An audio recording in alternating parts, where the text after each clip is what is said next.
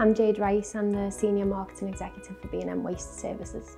The Little Litter Pickers campaign has been a hugely successful initiative already.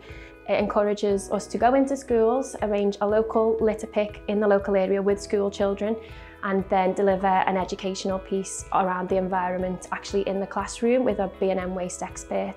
We also offer school children the opportunity to come to our Recycling Innovation Centre Milner House, which allows them to learn more about the operations that we do, the technology that we use, the machinery that we operate, and also get another education piece as well.